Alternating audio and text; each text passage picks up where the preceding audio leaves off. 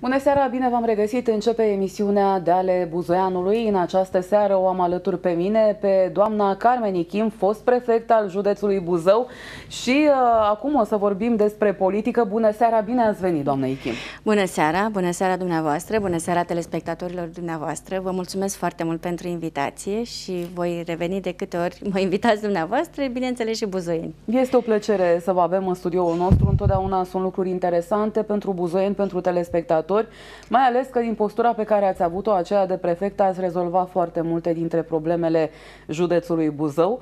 Și aș vrea să începem discuția chiar cu o astfel de întrebare. De ce, după o astfel de carieră de funcționar public, funcționar public de carieră, ani de zile ați dat exemplu multora, de ce ați ales să intrați în politică și să renunțați la această calitate?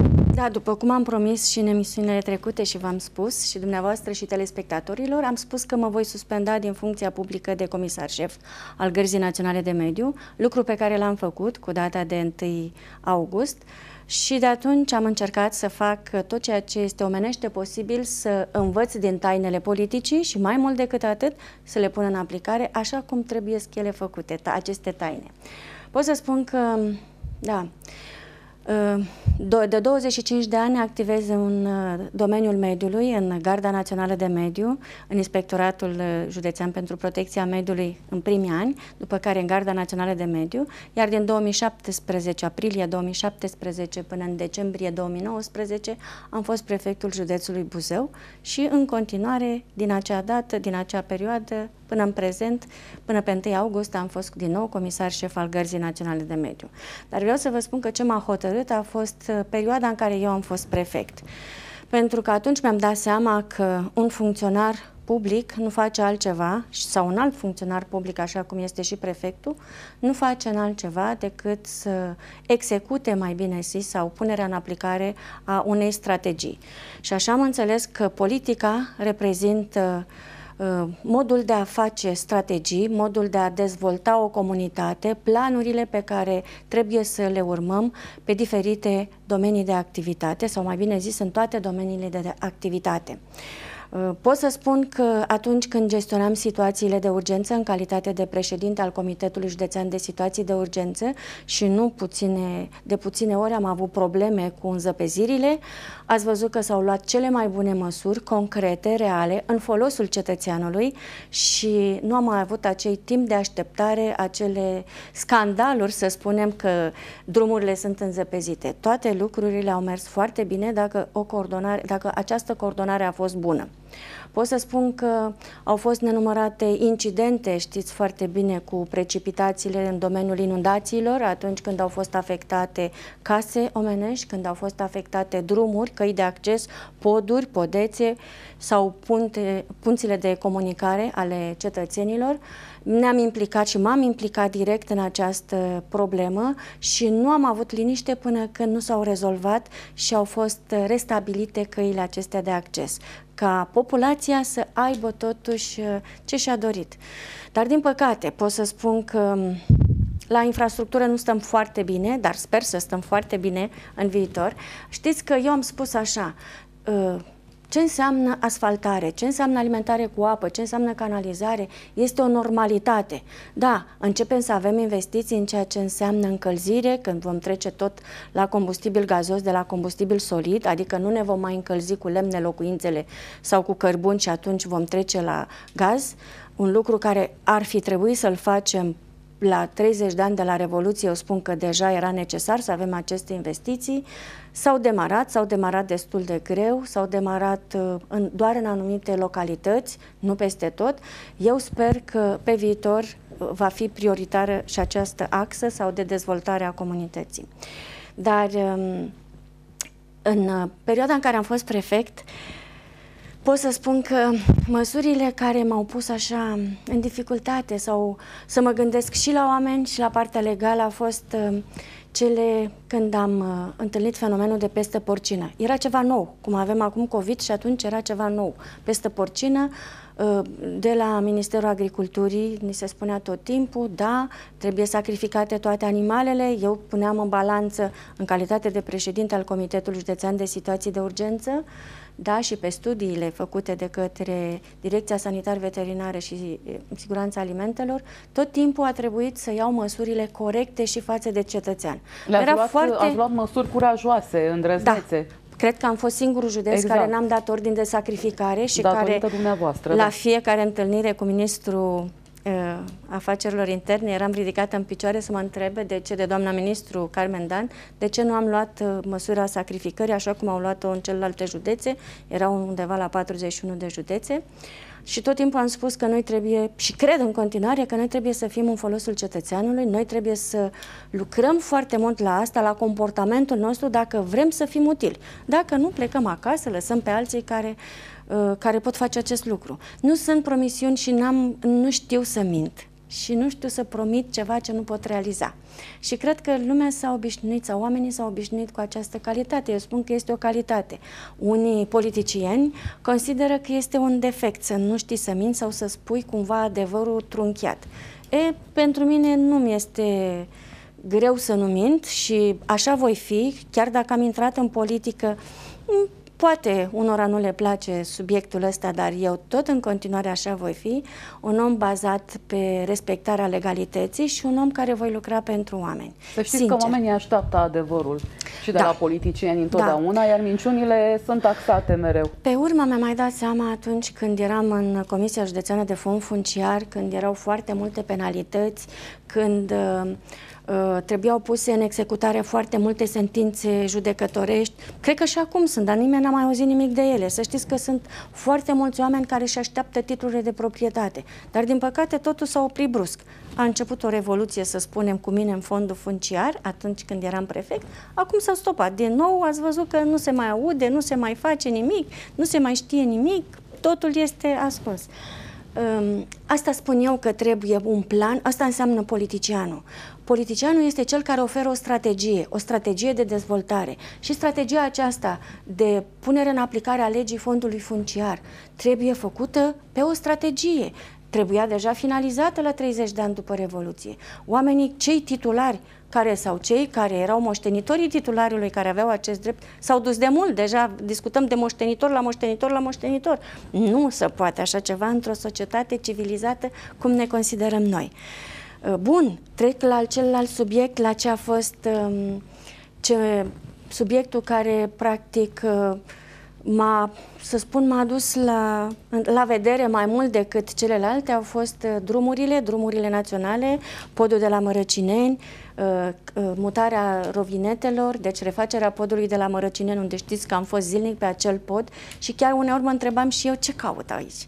Dar și am, mi-am găsit... Multe, nu presiuni, dar ați vorbit tot timpul, ați insistat la cei da? de la CNAIRE, Uh, pentru a rezolva problemele în infrastructură. Am fost tot timpul acolo și am ținut legătura atât cu proiectantul, cât și cu constructorul și cu dirigintele de șantier și cu administratorul drumului care era nairul, da? Uh, tot timpul, de ce m-am dus zilnic ca să verific dacă etapele proiectului se respectă, ținând cont că eu sunt inginer. Deci eu nu mă duc să bifez într-un loc, hai să fac o poză.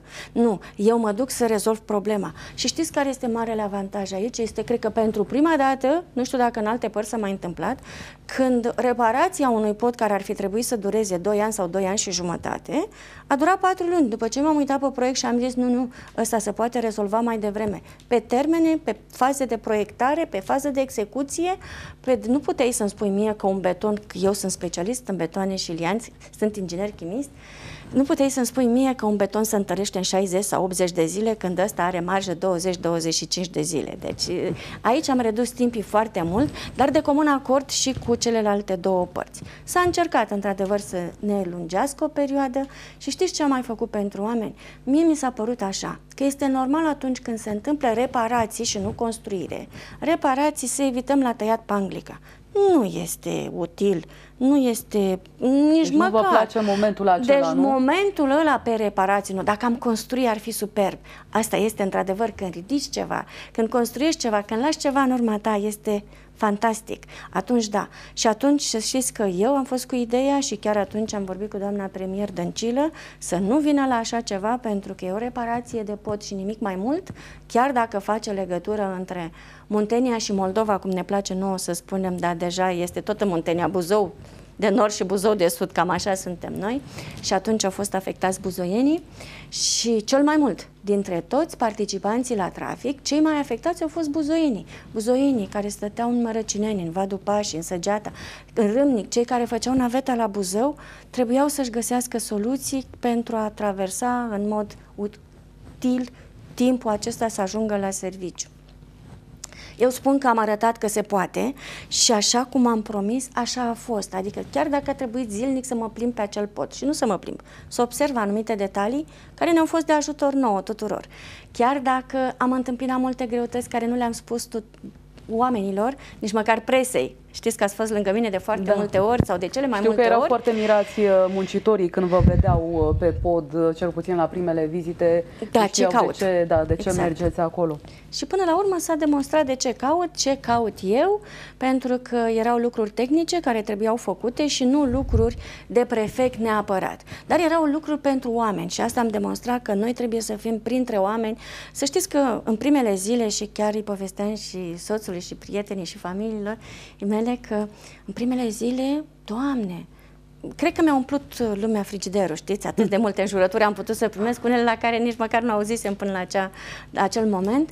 Dar în ultima lună uh, am primit mulțumirea oamenilor pentru că nu m-am lăsat și tot timpul am zis, haide, haide, Am hai să vedem. Perseverentă. Tot timpul da. trebuie, dacă vrei să obții ceva.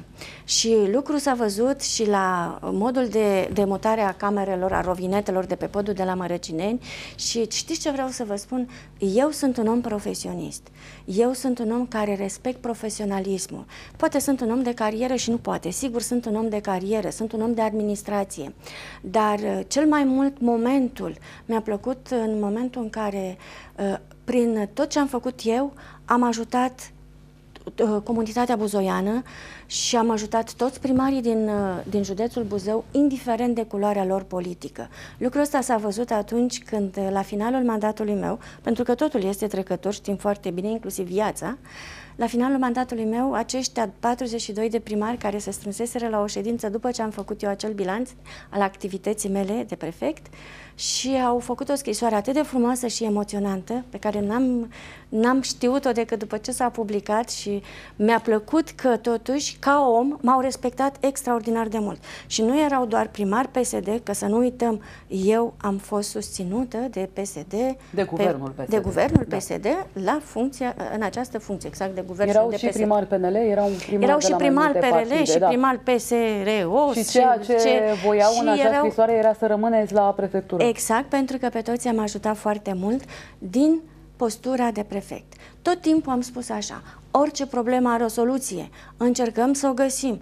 V-am spus, când am ajuns prefect, am văzut comportamentul funcționarilor din prefectură. Nu se poate. Tot timpul găseau soluții să nu se poată și am zis, nu înțeleg, de ce nu se pot găsi soluții să se poată? Și îmi spuneau, nu că vom răspunde dacă noi găsim soluții. Nu se poate așa ceva.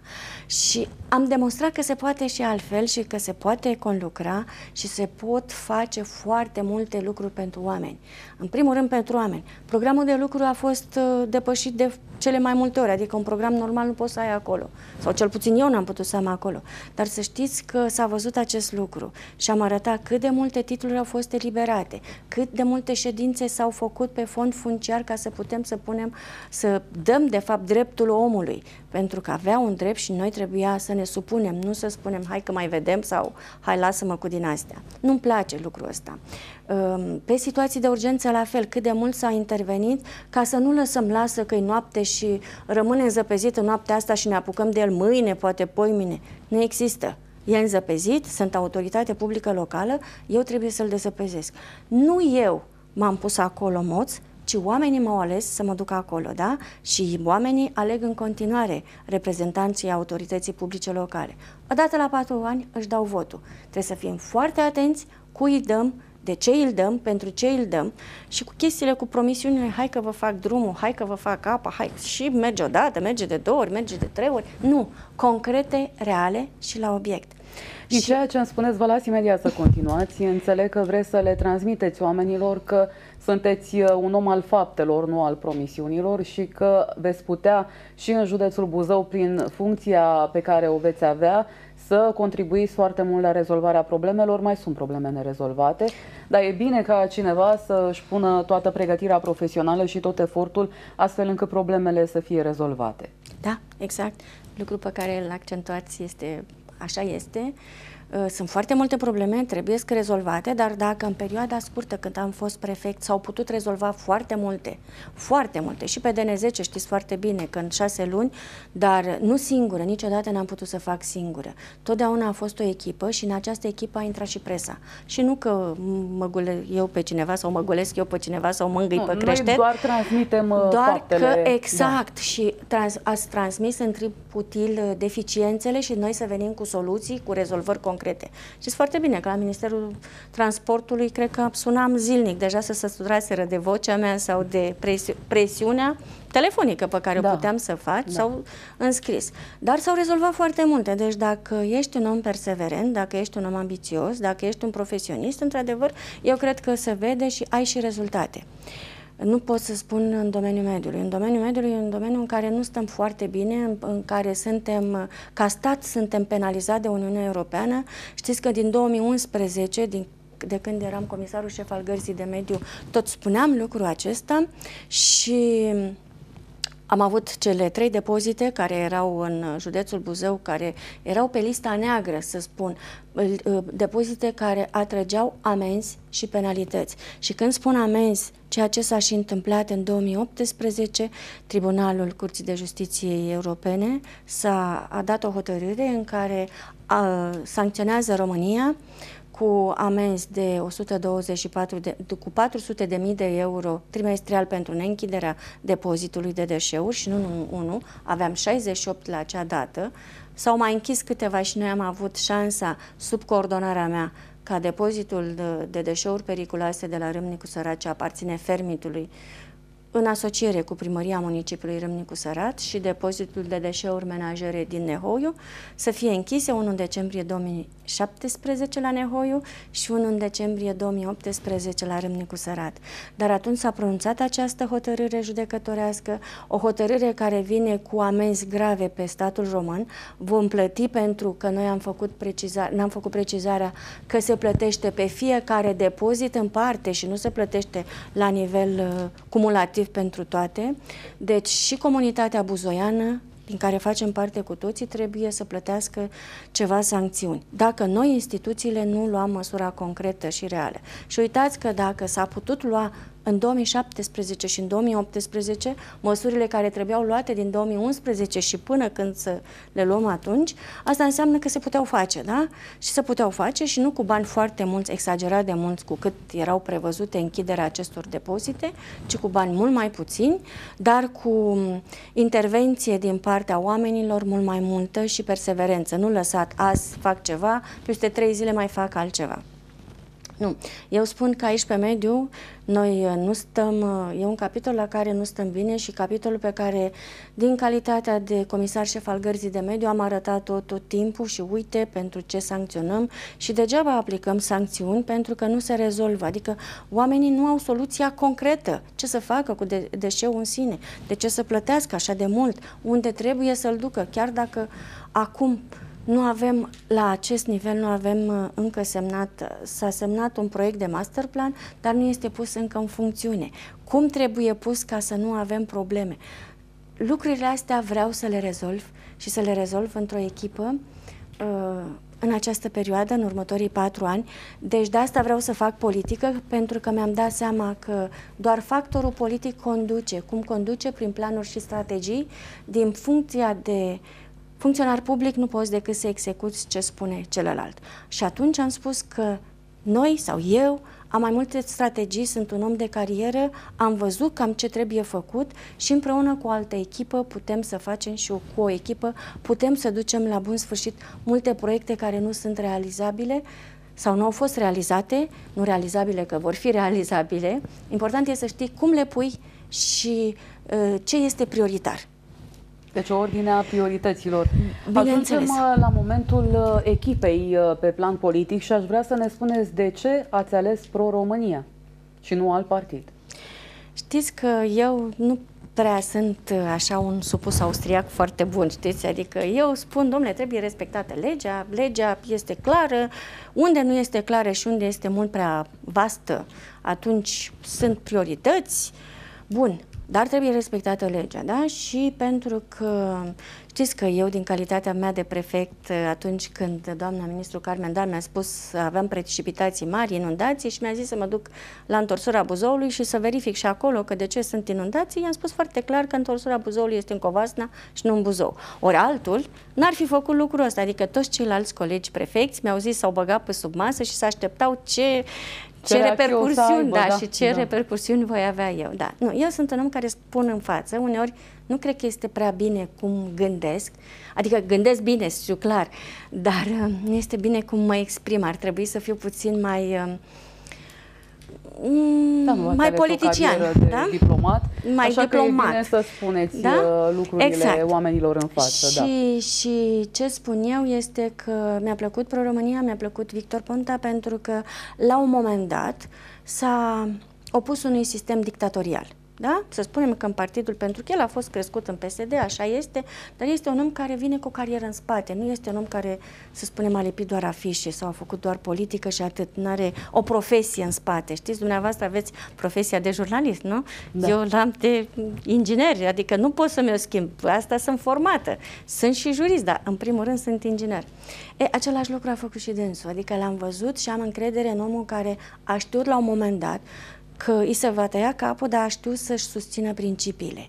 Și atunci când a fost... Noi trebuie să punem, să știți că uh, în prim plan punem omul, dar trebuie să punem și mediul de afaceri, pentru că dacă fără un mediu de afaceri n-ai cum să te dezvolți și dacă știi să faci în așa fel încât să reduci presiunea asupra lui, atunci și angajatul, că toți suntem angajați dacă stăm să ne gândim bine, că suntem la stat sau că suntem la privat și atunci noi angajații am trăit mult mai bine și indiferent de unde, locul unde suntem angajați și, și uh, societatea românească ar merge mult mai bine. O să continuăm discuția despre Pro-România și despre politică după o scurtă pauză de publicitate.